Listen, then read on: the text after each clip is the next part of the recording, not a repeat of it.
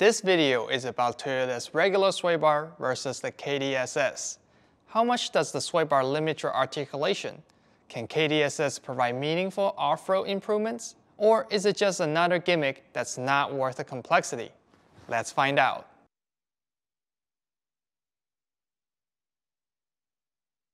Hi, welcome to Tinkerer's Adventure. I'm Kai. When it comes to 4x4 vehicles, I prefer tried and true systems that provide actual off-road performance. Keep it simple and no gimmicks. The KDSS is Toyota's off-road sway bar solution that involves hydraulic sway bar mounts linked front and rear. Toyota claims this allows running thicker sway bars for better on-road handling but at the same time, quote unquote, disconnect them for better off-road articulations. This mechanism is completely different from other true sway bar disconnects such as those on the Rubicon and Bronco. To me, it just felt gimmicky and will get in the way for serious off-road modifications. I've been running no front sway bars for years and never looked back. I did a survey on Instagram to understand the general opinions from the community. 60% voted for non-KDSS and it shares similar thoughts like myself. When I borrowed my friend's GX460 to film the Everything About Toyota IFS series, I realized it has the KDSS sway bars. I was actually a little annoyed. Why you have this contraption and make my life harder? But after I test and measure its articulation comparing to a non-KDSS vehicle, I was so surprised that I disassembled the sway bars and conducted more component level testing just to understand its potential. After witnessing the numbers firsthand, I was happy to admit I was wrong about KDSS. I think many people, including myself, never gave KDSS a chance. We just assume it is only marginal improvement and not worth the complexity. So in this video, I will first show you the articulation results of KDSS versus regular sway bars. Then I want to share a critical KDSS drawback for one off-road scenario. At last, I will show you how KDSS interact with other components and does it limit suspension upgrades. I will also make my personal recommendations as to who should consider or avoid KDSS when buying a new Toyota. Alright, let's get started. To make a quantitative comparison, I conducted some corner travel index tests. Compared to the more popular ramp travel index, the CTI exercised the front and rear suspension equally and is independent from the vehicle wheelbase. In my opinion, it is a more realistic simulation of off-road scenarios. First, we have a 2020 5th Gen 4Runner with regular sway bars and bone stock suspension. When the tire broke traction and about to lift off the ground, I measured 3.5 inches of front-end articulations and 10.3 inches from the rear. Total articulations is 13.8 and it has a 25 to 75% split between front and rear.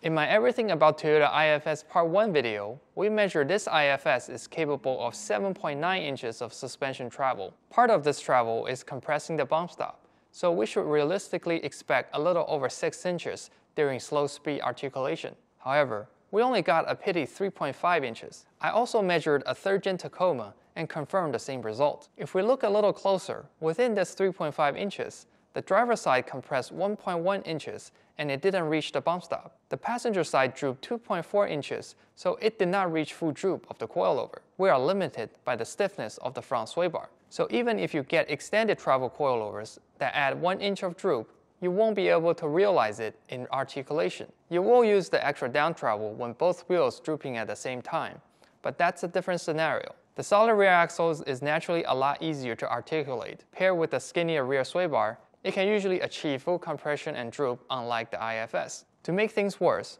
when you're going uphill, which is when you need traction the most, the front end will flex even less due to weight transfer to the rear, creating the common Toyota waves lifting front tires.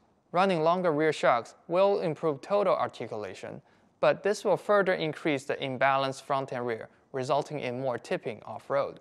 Now let's see how the stock 2013 GX460 with KDSS did in the same test. The front end flexed 6.3 inches, and the rear got 9.1, totaling 15.4 inches of overall articulation. The front articulation increased 2.8 inches, that is 80% more than the 4Runner. If we zoom in on the front end, the driver's side went up 2.5 inches and was compressing the bump stop. The passenger side drooped 3.8 inches, which was full droop for factory suspension. Therefore, at least for the IFS, KDSS behaved just like a true sway bar disconnect. The rear suspension interestingly had 1 inch less articulation than the 4Runner. I'm not sure of the exact limiting factor, but watch to the end of this video and you'll find if a aftermarket suspension is able to change this. One important improvement on the KDSS is that the front and rear articulation is much more balanced. The 4Runner was 25-75% split, while the GX is 41 to 59.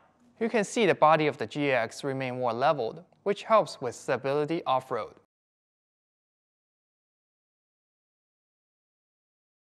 Articulation is important, but there are many other aspects in off-roading. One of them is off-camber stability. I have been through several really sketchy off-camber situations, and I wished I had my front sway bar installed. When I look at Toyota's marketing video for the KDSS, it appears to show if one cylinder is compressed, the other one is forced to extend the same amount. When we attempt to compress or extend both cylinders at the same time, the hydraulic fluid opposes that, hence reducing body roll. By this operating principle, I thought KDSS should have better off-camber stability because off-camber is basically static body roll and KDSS sway bars are extra beefy. That realization got me really excited, so I tested out. Sadly, the reality was quite the opposite.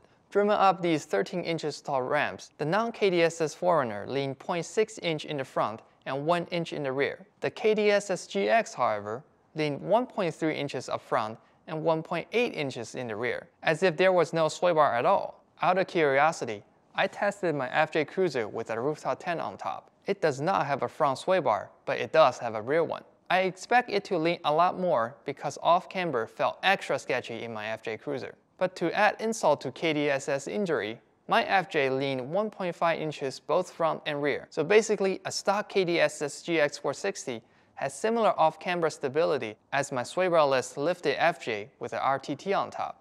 The GX will probably get worse after a lift. So why did it lean so much and didn't behave like I thought it would? After some research, I found in addition to the front and rear hydraulic cylinders, there are two accumulators between them.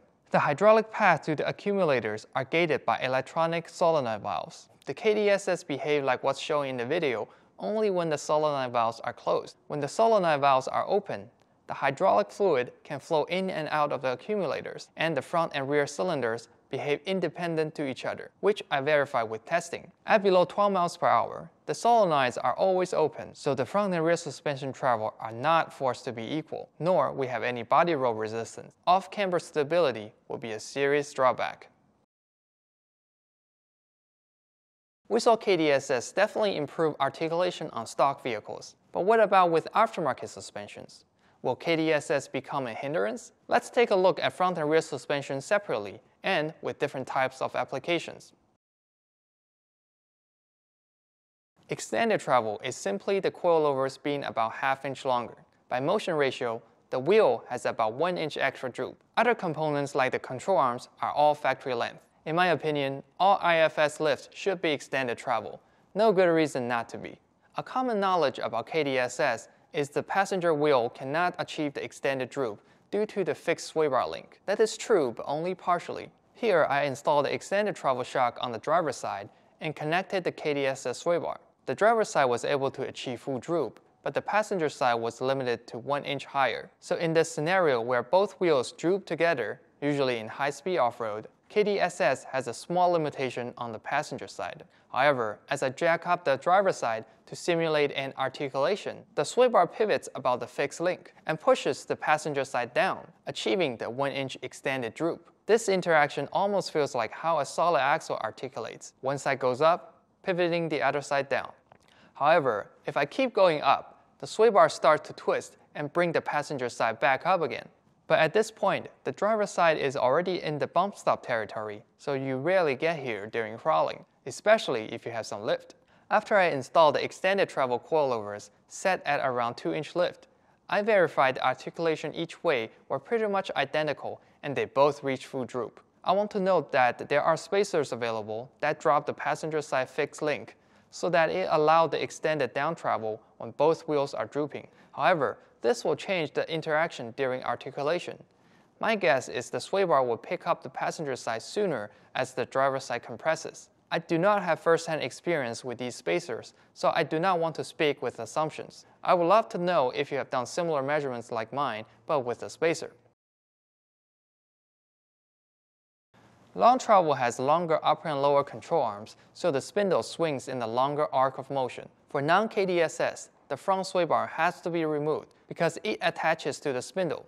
Now the spindles are a few inches outwards, it does not reach anymore. I know, many people claim sway bars are overrated and we should remove them and die like real men. But for me, I would love to have my front sway bar back for highway driving. But it also must be disconnectable for articulation. Right now, there is just no such solution for long travel Toyotas. Total Chaos make a sway bar for plus 2 long travel, but it is not a disconnectable one. However, Total Chaos do make a plus 2 long travel for KDSS vehicles. Because the KDSS sway bar attaches to the lower control arm, we can retain it for long travel. Granted, its stiffness is reduced because of the longer leverage, but it should still be very effective because it was extra thick to begin with. Compared to extended travel, long travel should have similar angles of all suspension components, so I believe we can expect full articulation from KDSS long travel. When both wheels droop at the same time, the passenger side would now be limited even higher. This might be an issue for high-speed off-road, but the KDSS spacer would probably help. Unlike the IFS, most Toyota rear lift come with more droop just by having longer shocks than factory. No one uses the term rear extended travel, but for the sake of this video, that's how I'll refer to them. For example, this Ironman Foam Cell Pro rear shocks are 2.2 inches longer than factory. You gain around 2 inches extra droop when the axle goes straight up and down. You gain more than that during articulation due to the solid axle geometry. From my measurement, using these shocks, the factory brake lines are already pulled straight, but not stretched. The ABS wires are actually under a little tension, but I bent the bracket slightly to relieve it. With these shocks, the KDSS links are already hitting the track bar, and I couldn't reattach the sway bar. After installing the link spacers, I was able to reinstall the sway bar, but it was still extremely close. Ironman's KDSS track bar has two kinks in there to clearance the links. With this, we have pretty good clearance. I retested the articulations on the ramps. The rear articulation increased from 9.1 inches to 11.5. This was a decent improvement. Rear long travel is a marketing term used by several manufacturers. Unlike front long travel, the rear one does not use longer control arms or increase the arc of motion.